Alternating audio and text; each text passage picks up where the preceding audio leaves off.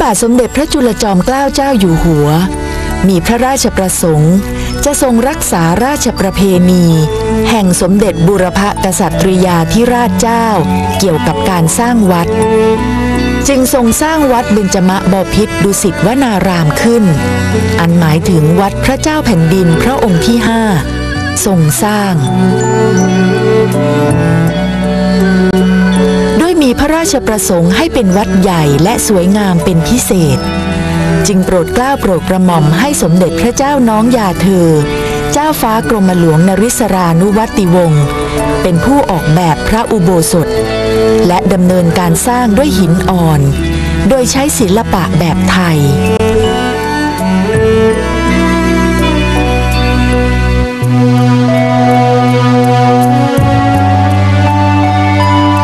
ปรดกล้าโปรดกระหม่อม ให้สร้างพระพุทธชินราช ซึ่งจำลองแบบมาจากวัดพระศรีรัตนมหาธาตุจังหวัดพิษณุโลก มาประดิษฐานเป็นพระประธาน ในพระอุโบสถวัดเบญจมะบ่อพิษดุสิตวนาราม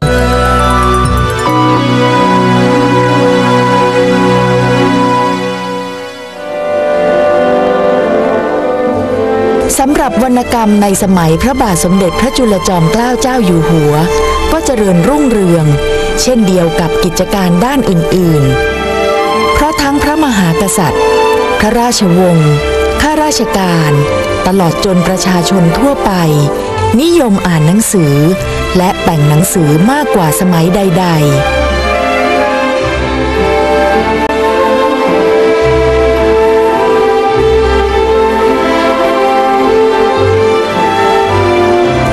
ีที่สำคัญในสมัยนี้ได้แก่ พระยาศรีสุนทรโวหาร น้อย อาจาริยางกูล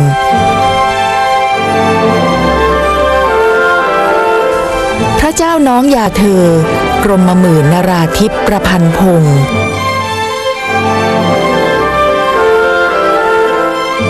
พระเจ้าน้องยาเธอกรมหลวงดำรงราชานุภาพ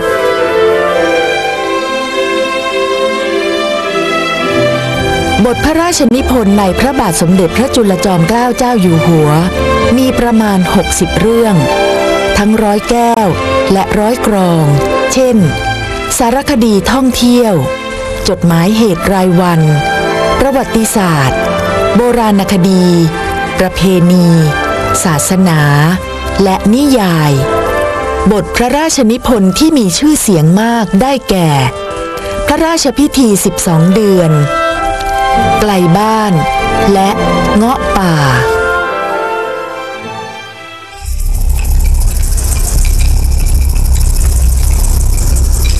พวกเงาะ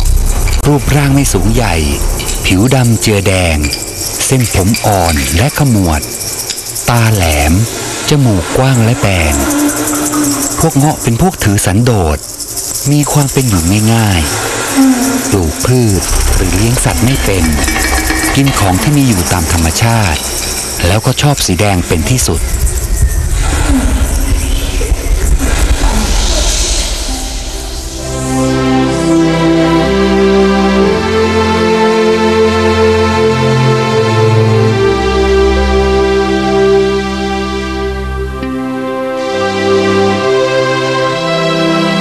ขนังเด็กน้อยชาวป่าชาวดง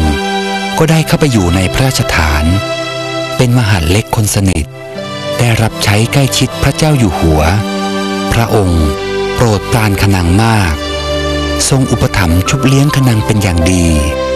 เพราะเป็นเด็กที่เฉลียวฉลาด ไม่ซุกซน เจียมตัว และนับถือผู้ใหญ่ทำให้คนในวังเมตตาเอ็นดู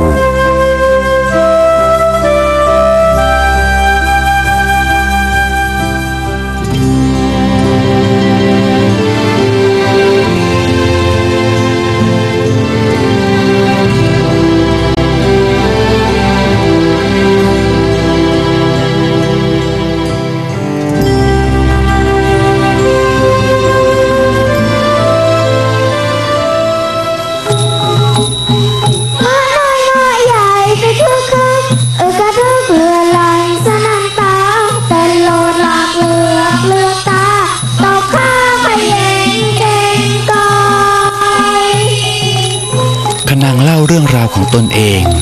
และพวกพ้องชาวเงาะถวายพระเจ้าอยู่หัว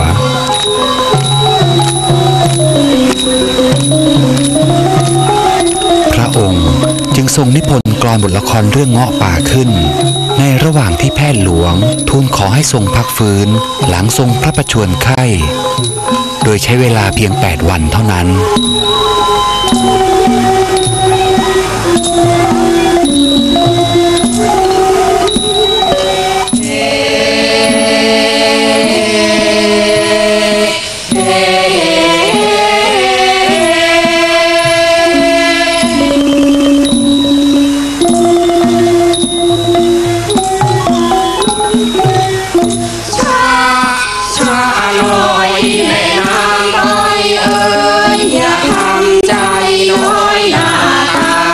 องค์ท่านทรงนำภาษากอย หรือภาษาของพวกชาวเงาะ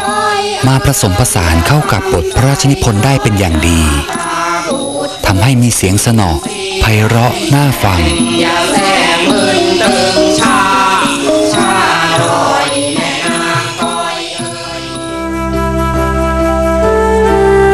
พระบาทสมเด็จพระจุลจอมเกล้าเจ้าอยู่หัว ทรงมีพระอัจฉริยภาพ ทรงรอบรู้ในศาสตร์และศิลป์ทั้งมวลเพื่อนำมาใช้ในการทำนุบำรุงบ้านเมืองสยาม ให้อาณาประชาชนของพระองค์ท่าน อยู่ดีมีสุขโดยทั่วหน้า ด้วยเหตุนี้เอง แม้เวลาจะผันผ่านเนิ่นนานสักเพียงใด พระองค์ท่านก็ยังคงสถิตอยู่ในใจของคนไทย ทุกผู้ทุกนาม ปิยมหาราช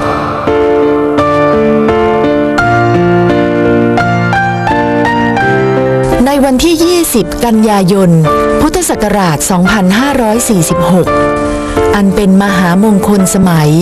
ครบ 150 ปี แห่งวันพระราชสมภพ ในพระบาทสมเด็จพระจุลจอมเกล้าเจ้าอยู่หัว องค์การศึกษาวิทยาศาสตร์ และวัฒนธรรม แห่งสหประชาชาติ ยูเนสโก ได้ประกาศยกย่องพระเกียรติคุณ ให้พระบาทสมเด็จพระจุลจอมเกล้าเจ้าอยู่หัว ทรงเป็นบุคคลสำคัญของโลก ในสาขา การศึกษา วัฒนธรรม สังคมศาสตร์ มนุษยวิทยา การพัฒนาสังคมและสื่อสาร